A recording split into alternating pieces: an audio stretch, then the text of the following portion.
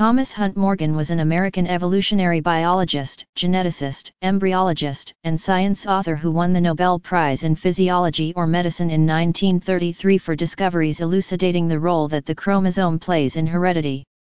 Morgan received his PhD from Johns Hopkins University in zoology in 1890 and researched embryology during his tenure at Bryn Mawr. Following the rediscovery of Mendelian inheritance in 1900, Morgan began to study the genetic characteristics of the fruit fly Drosophila melanogaster.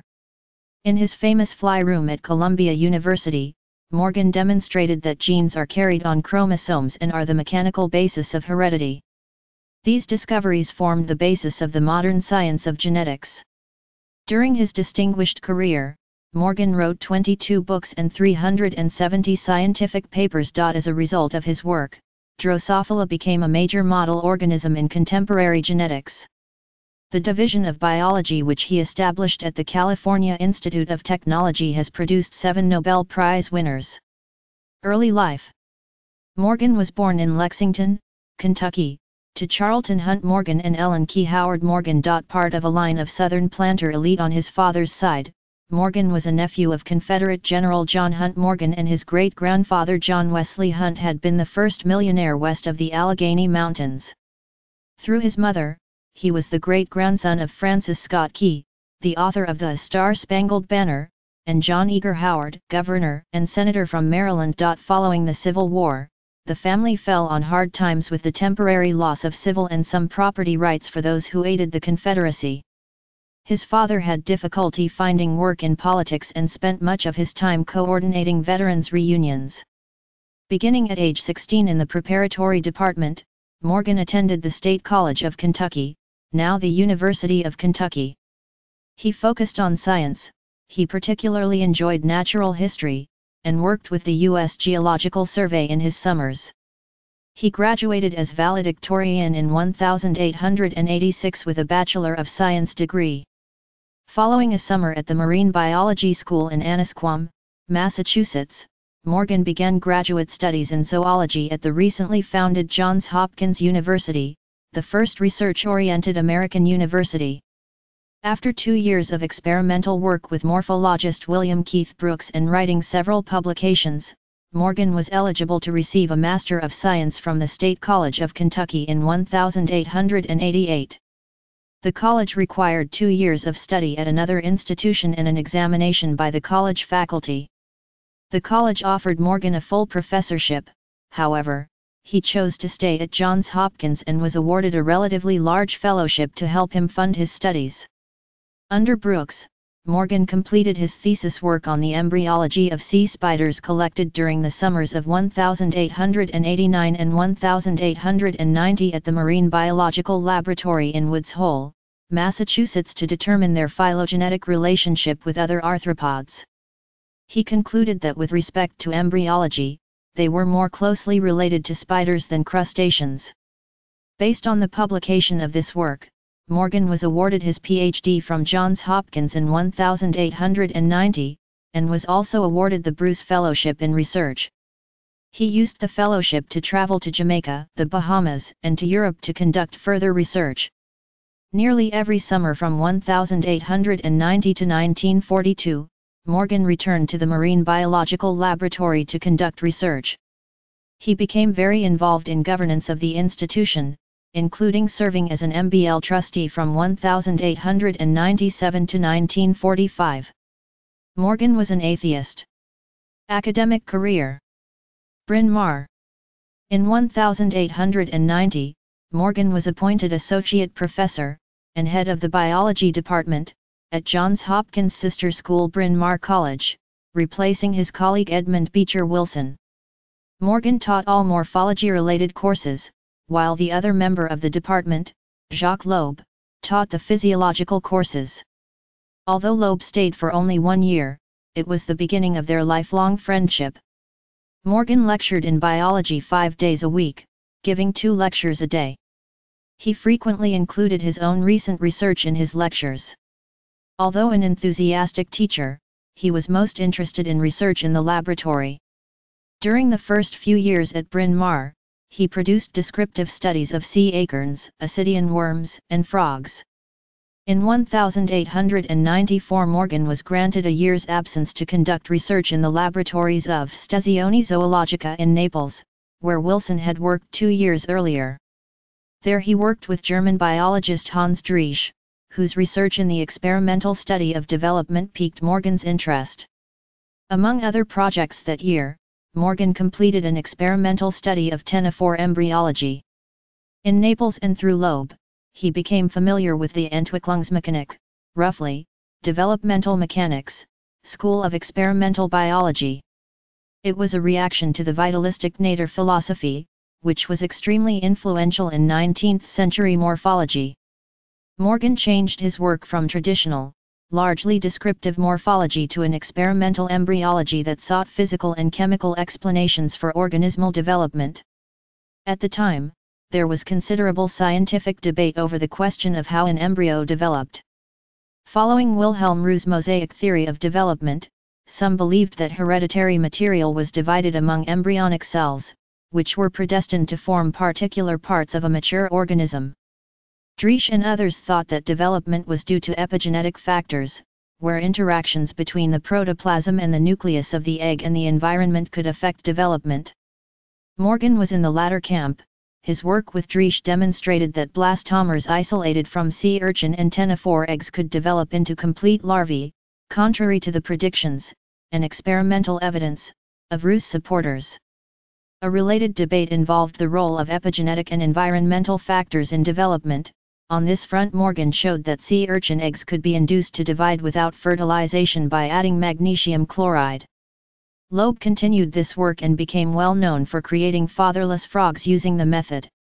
When Morgan returned to Bryn Mawr in 1895, he was promoted to full professor.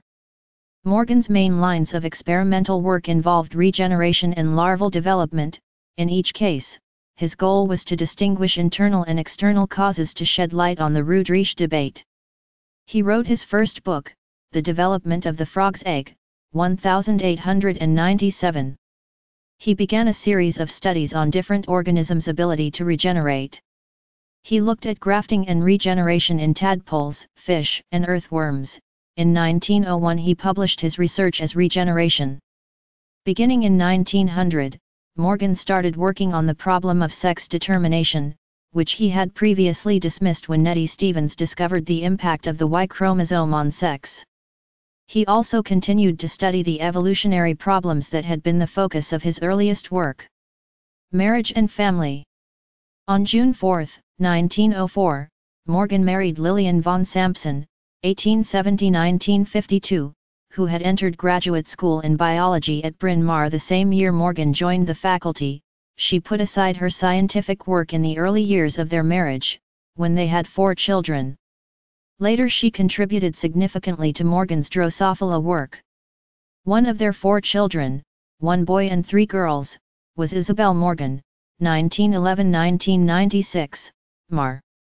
Mountain, who became a virologist at Johns Hopkins, specializing in polio research. Columbia University. Later in 1904, E. B. Wilson still blazing the path for his younger friend invited Morgan to join him at Columbia University. This move freed him to focus fully on experimental work. When Morgan took the professorship in experimental zoology, he became increasingly focused on the mechanisms of heredity and evolution. He had published Evolution and Adaptation, 1903, like many biologists at the time, he saw evidence for biological evolution, as in the common descent of similar species, but rejected Darwin's proposed mechanism of natural selection acting on small, constantly produced variations. Extensive work in biometry seemed to indicate that continuous natural variation had distinct limits and did not represent heritable changes. Embryological development posed an additional problem in Morgan's view, as selection could not act on the early, incomplete stages of highly complex organs such as the eye. The common solution of the Lamarckian mechanism of inheritance of acquired characters, which featured prominently in Darwin's theory, was increasingly rejected by biologists. According to Morgan's biographer Garland Allen, he was also hindered by his views on taxonomy, he thought that species were entirely artificial creations that distorted the continuously variable range of real forms, while he held a typological view of larger taxa and could see no way that one such group could transform into another. But while Morgan was skeptical of natural selection for many years, his theories of heredity and variation were radically transformed through his conversion to Mendelism. In 1903 scientists, Karl Correns, Erich von Tschermak and Hugo de Vries, had rediscovered the work of Gregor Mendel, and with it the foundation of genetics. De Vries proposed that new species were created by mutation, bypassing the need for either Lamarckism or Darwinism. As Morgan had dismissed both evolutionary theories, he was seeking to prove de Vries' mutation theory with his experimental heredity work. He was initially skeptical of Mendel's laws of heredity, as well as the related chromosomal theory of sex determination, which were being considered as a possible basis for natural selection. Following C. W. Woodworth and William E. Castle, around 1908 Morgan started working on the fruit fly Drosophila melanogaster, and encouraging students to do so as well. With Fernandus Payne, he mutated Drosophila through physical, chemical, and radiational means. He began crossbreeding experiments to find heritable mutations, but they had no significant success for two years. Castle had also had difficulty identifying mutations in Drosophila, which were tiny. Finally in 1909, a series of heritable mutants appeared, some of which displayed Mendelian inheritance patterns. In 1910 Morgan noticed a white-eyed mutant male among the red-eyed wild types. When white-eyed flies were bred with a red-eyed female, their progeny were all red-eyed. A second-generation cross produced white-eyed males a sex-linked recessive trait, the gene for which Morgan named white. Morgan also discovered a pink-eyed mutant that showed a different pattern of inheritance. In a paper published in Science in 1911, he concluded that, 1. Some traits were sex-linked, 2. The trait was probably carried on one of the sex chromosomes, and, 3. Other genes were probably carried on specific chromosomes as well. Morgan and his students became more successful at finding mutant flies, they counted the mutant characteristics of thousands of fruit flies and studied their inheritance. As they accumulated multiple mutants, they combined them to study more complex inheritance patterns. The observation of a miniature wing mutant, which was also on the sex chromosome but sometimes sorted independently to the white eye mutation, led Morgan to the idea of genetic linkage and to hypothesize the phenomenon of crossing over. He relied on the discovery of Franz Alfons Janssens, a Belgian professor at the University of Leuven, who described the phenomenon in 1909 and had called it chiasmatypy. Morgan proposed that the amount of crossing over between linked genes differs and that crossover frequency might indicate the distance separating genes on the chromosome. The later English geneticist J.B.S. Haldane suggested that the unit of measurement for linkage be called the Morgan. Morgan's student Alfred Sturtevant developed the first genetic map in 1913. In 1915 Morgan, Sturtevant, Calvin Bridges, and H. J. Muller wrote the seminal book The Mechanism of Mendelian Heredity. Geneticist Kurt Stern called the book the fundamental textbook of the new genetics and C. H. Waddington noted that Morgan's theory of the chromosome represents a great leap of imagination comparable with Galileo or Newton.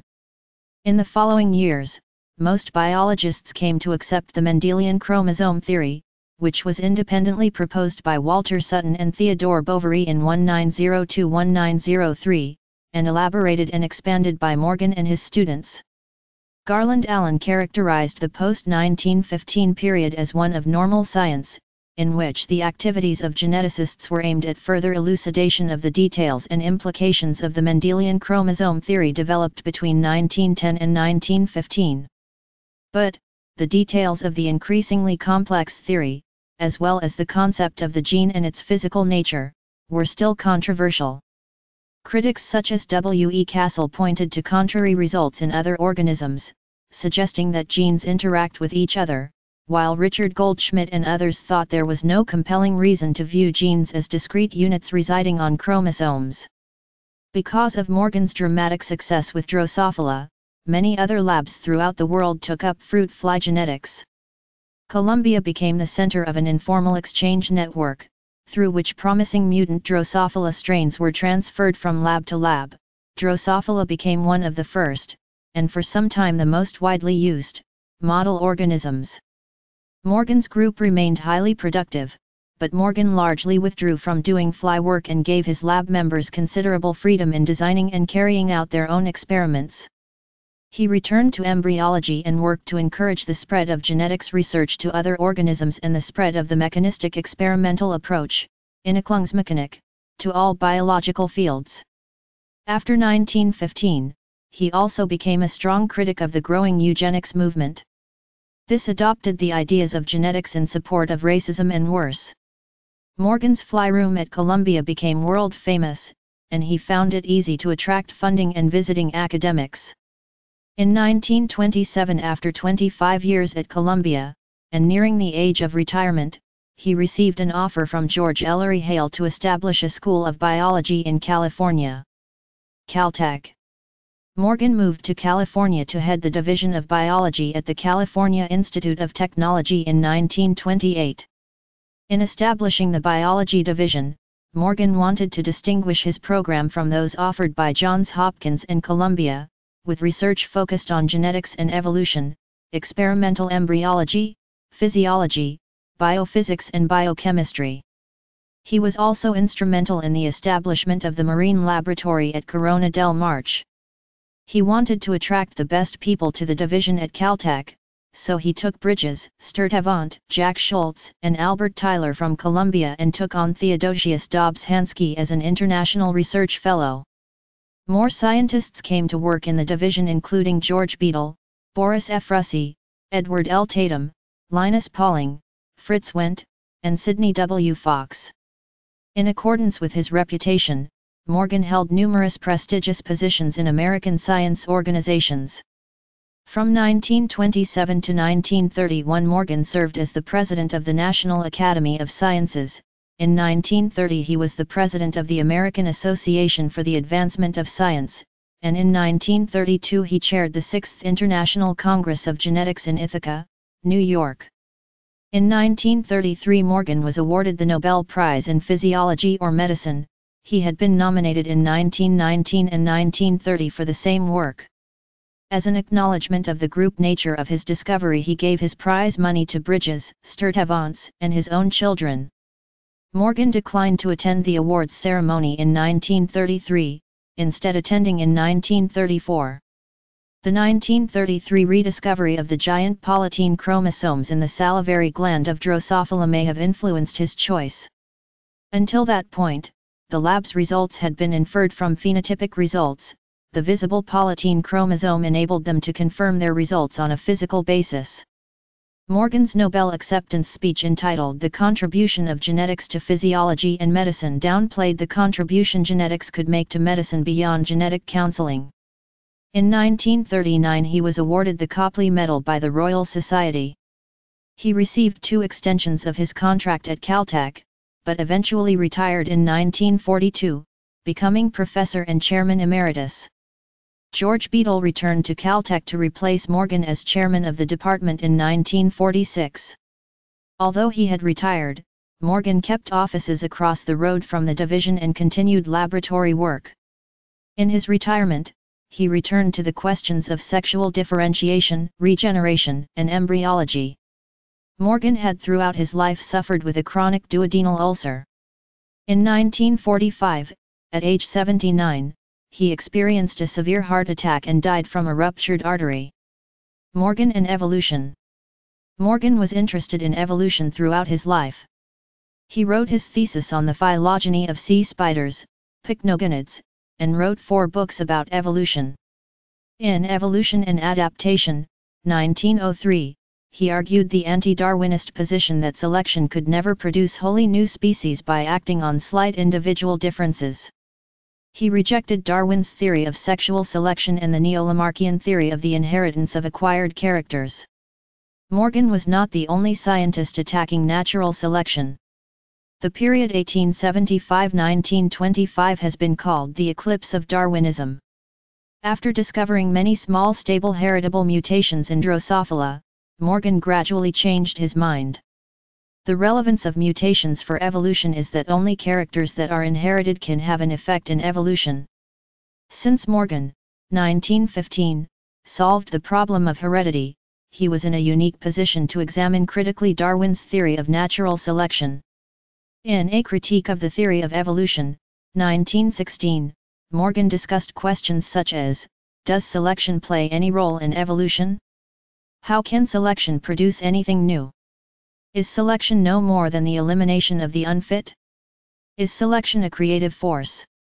After eliminating some misunderstandings and explaining in detail the new science of Mendelian heredity and its chromosomal basis, Morgan concludes, the evidence shows clearly that the characters of wild animals and plants, as well as those of domesticated races, are inherited both in the wild and in domesticated forms according to the Mendel's law.